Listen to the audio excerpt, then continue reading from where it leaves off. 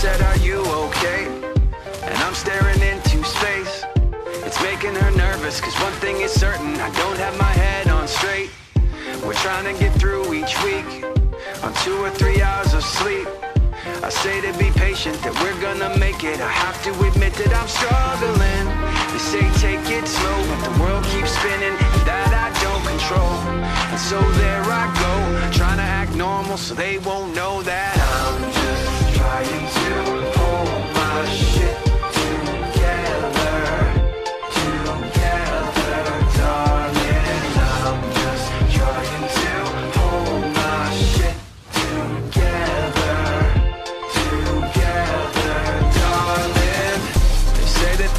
I'm grateful they take the time. But bringing it up at the six-year-old birthday, it kinda fucks up my vibe. We end on an awkward note. I'll make the most awkward joke. Too dark to be funny, I shouldn't have come. It'd be weird to go home and I'm struggling.